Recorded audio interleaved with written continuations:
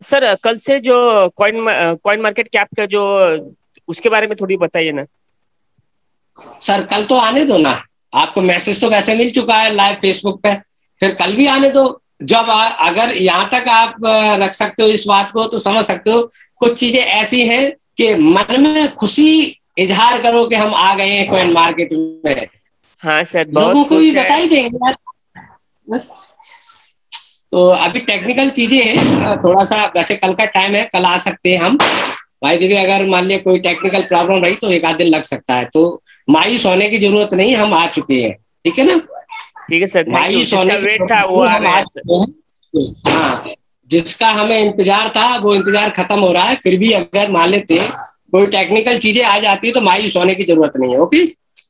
हाँ sir thank you thank you